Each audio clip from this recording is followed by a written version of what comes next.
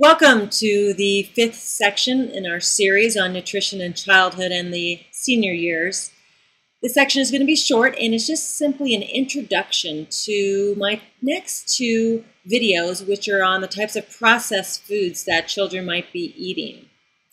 And I'm going to start with this image and this saying Would you give your child a cigarette? And I think this image is very powerful because I think most parents would shudder at this image.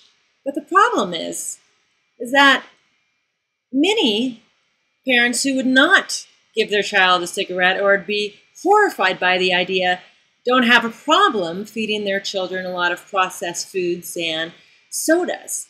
And although the research isn't quite there as far as the individual nutrients or food additives and health effects as it is clearly with tobacco or just cigarettes in general and health, we do know for a fact that processed foods are not healthy. They can be detrimental to health.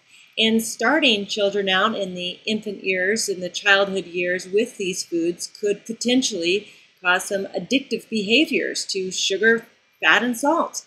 So giving the younger infant and the toddler these foods uh, might, in fact, we may find out in the future that it is as bad for health as smoking a cigarette. So that's the notion I'm going to set you up with as you watch my next two videos, which are not required uh, viewing, but they will help you get a better idea of the types of nutrients and food additives in foods that are marketed to children.